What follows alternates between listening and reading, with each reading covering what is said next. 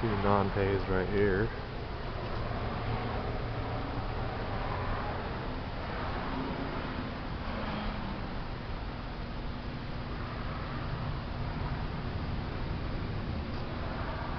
Just a couple old demand seals on the ground.